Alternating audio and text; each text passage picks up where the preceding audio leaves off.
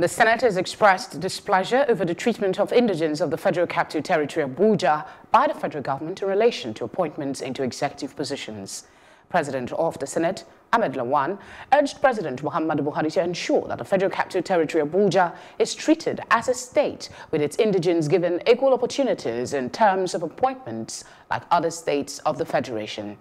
Senator Lawan made the call during plenary while reacting to a point of order raised by the minority whip of the Senate, Philip Aduda, as he protested the non-inclusion of FCT indigenes by President Muhammadu Buhari during the replacement of two non-career ambassadors designate. Senator Lawan described Senator Aduda's complaint as valid, saying FCT indigenes should be treated like other Nigerians not knew that the person is in a station and is already there and there is that nomination.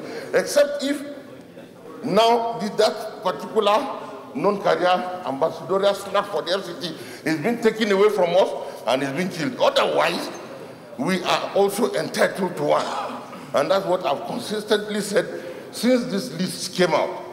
I'm sorry I'm sounding this emotional, but that is the truth. And people will not ordinarily understand on the street of the FCT. So, Mr. President, I hope that something can be done to this to help the people of the FCT.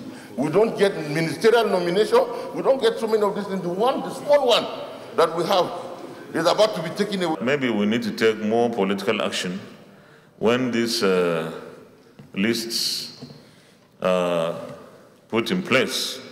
We must ensure that uh, FCT is there so that it doesn't always come like it's an afterthought. FCT is to be treated like a state. That's what the Constitution says.